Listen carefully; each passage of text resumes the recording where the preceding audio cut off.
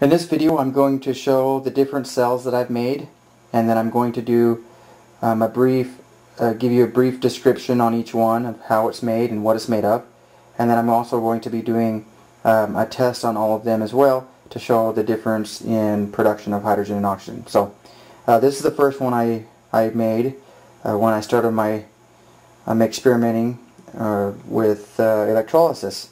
This is made up of um, copper pipe. You've got two 12 inch pieces of copper pipe. These are three quarter inch pipe and then running down to the inside are half inch copper pipe with spacers um, drilled out so water can get in and out and also uh, any hydrogen oxygen bubbles that are uh, made can also be released through there. This is the first one I made. It didn't produce anything significant. I will not be experimenting this one in the video. I just wanted to show the first one that I started out with. Okay, let me set this one aside. The next one that I made, by the way, these, these are in order of which ones I made. Um, this is an 8 plate stainless steel. These are your standard stainless steel blank wall plate covers. You can buy these at any hardware store. Um, they, they come with a hole here and here. This is how you would normally attach them to the wall.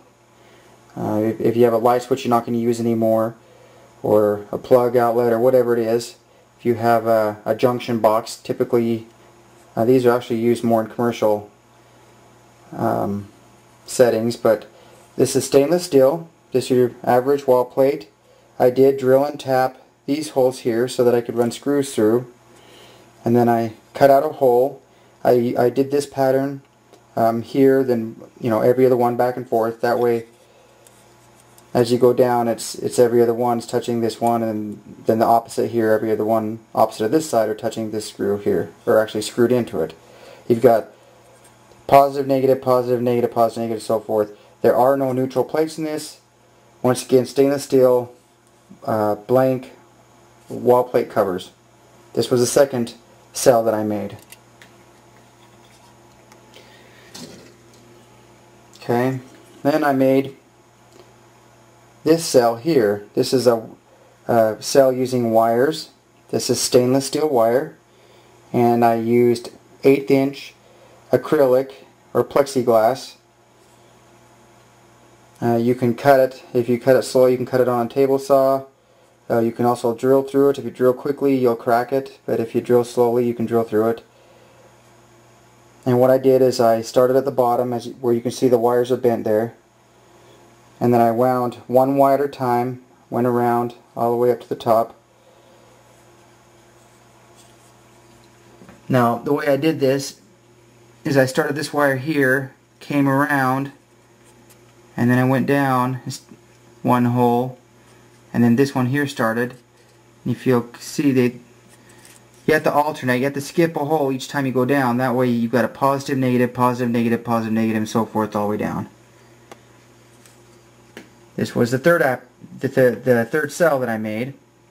Works quite well. I believe this is the HHO HHO 2 video that I made was with this cell here. I will give you information on that stainless steel wire. This is one pound of 302 304 stainless steel uh, wire. I bought this at Harbor Freight. Um, if you do not have a local Harbor Freight, you can go to harborfreight.com. This is one pound of stainless steel lock wire. This was only $5, so pretty cheap. Anyways, there's some information on that. The next cell that I made was similar to the to this one here, but as you can see, there's a difference. It, there is it is a little bit bigger, and there's a reason for that. As you can see, the wires are twisted together. And because I twisted the wires together, that made them a little more uh, stiff, it was harder to bend them, and so instead of drilling holes, like in this one I drilled holes, about every 3 eighths of an inch there with the eighth inch bit. Here I had to notch it because I could not put those wires to the holes. The wire wouldn't bend for me and I was afraid I was going to break the plastic um, putting too much pressure trying to bend them around. It was actually a little easier. All I had to do is wrap it around and just make sure each wire went into its slot as it went around. So this is the fourth cell that I made. Now the fifth cell that I made actually goes back to the plate system. Once again, your stainless steel blank cover plates. And what I did on the 25 plate is I added neutrals. And I notched it differently. I notched it down like this. This pattern rotates. So you've got a positive plate. There's a neutral in between. Then this is a negative right here. So positive negative or negative positive. Depends on which way you hook it up. But let me show you the top view so you can see the, the neutrals. Now, as you can see, there's an extra plate between each of these. Those are neutrals. Now the neutrals I notched here and here. So they're only connected here in the middle. Now they have spacers between them and then I just use a zip tie. Now the zip tie is actually connecting all of them. Do this on the top and the bottom you have to use something that does not conduct electricity, otherwise you're positive negative touching. Uh, I made this 25 plate seal cell. Um, the reason I threw the neutrals in is because you can produce more hydrogen uh, using less power. The neutral plates do, um, once you start, once you give it power, the neutral plates do start to uh, produce hydrogen as well. And there are other people who have made videos and shown that. So this is my 25 plate cell.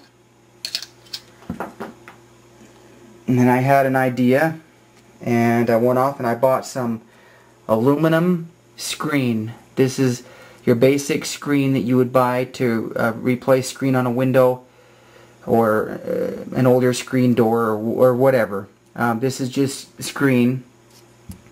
Um, and once again, all these other products here are stainless steel whereas this is aluminum. And what I did here is I, I cut these strips and I also bought some screen. You can't quite see them in there. But I also bought some screen that was, um, oh, what was it? The, the nylon. And so it doesn't conduct any electricity. And I, I just, I rolled the nylon in between the two. So you got a pretty tight roll there. You got positive, negative, positive, negative, alternating all the way out you could, um, one screw is touching one screen and the other is touching the other screen. There's my positive negative.